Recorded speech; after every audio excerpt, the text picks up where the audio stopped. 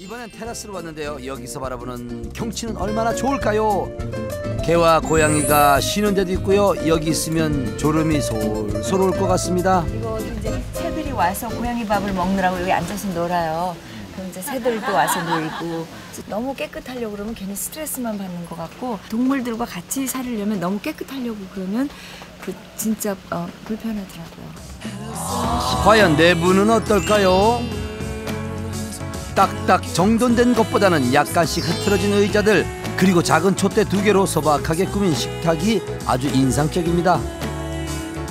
깨끗하게 청소를 하지 않아도 깨끗해 보이는 집. 네, 그렇게 살고 있습니다. Uh, she she's very hygienic. She loves to clean her house. She does it at 아니 least twice a 잠깐만 week. 잠깐만. 야 내가 지금 clean을 안 해도 되는 clean한 집이라 그랬어. You know how to sing the hula songs, mom? Hello, ha, oi. You have to move Oh, this. oh, my hips. 하와이 하면 또 훌라춤이죠. 움직여야지. 이거만 움직이면 안 돼. 전문가의 코치 Yeah, they, they, they do all kinds of like. 지금부터는 훌라 타임입니다. 알로하.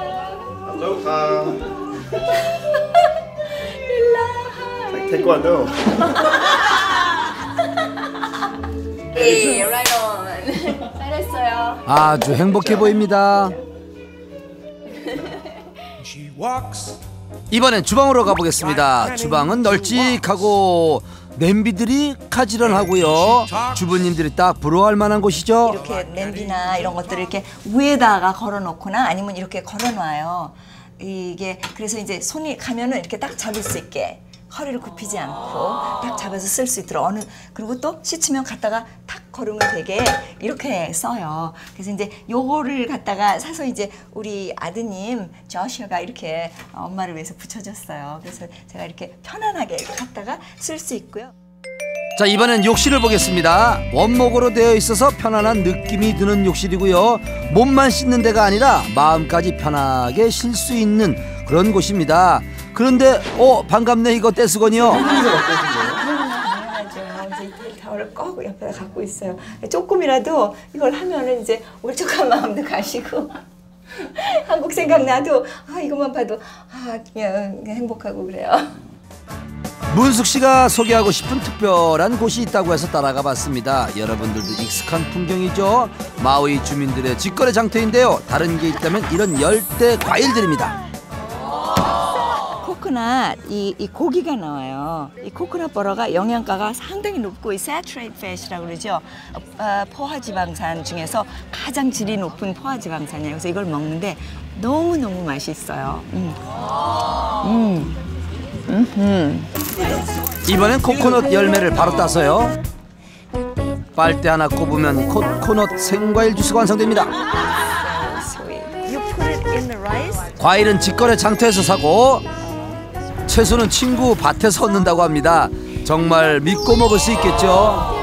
이날 당근 좀 캐려는데 어 지렁이가 발견됐어요. 그놈 참 튼실해 보입니다. 지렁이만 사는 게 아니라 방앗개비에 벌에 완전 동물의 왕국입니다. 데는 이렇게 잎사귀들이 다 이렇게 벌레들이 이렇게 먹었어요. 그래도 그게 이제 바로 이제 농약을 안 썼다는 어, 증거가 되죠. 빛깔도 이렇게 곱습니다.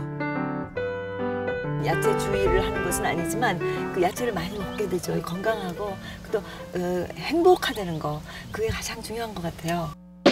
하와이에서 자연 치유식 전문가로 살고 있는 영화배우 문숙 씨의 집이 계속 이어집니다.